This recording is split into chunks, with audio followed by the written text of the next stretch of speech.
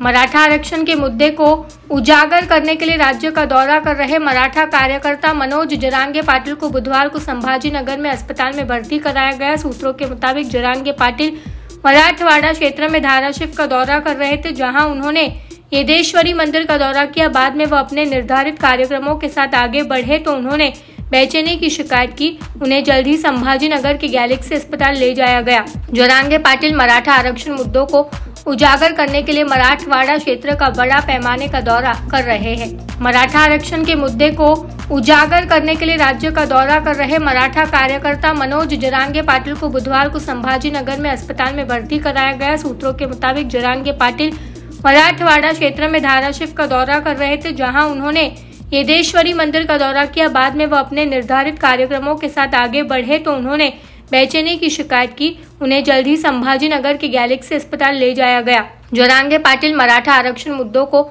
उजागर करने के लिए मराठवाड़ा क्षेत्र का बड़ा पैमाने का दौरा कर रहे हैं।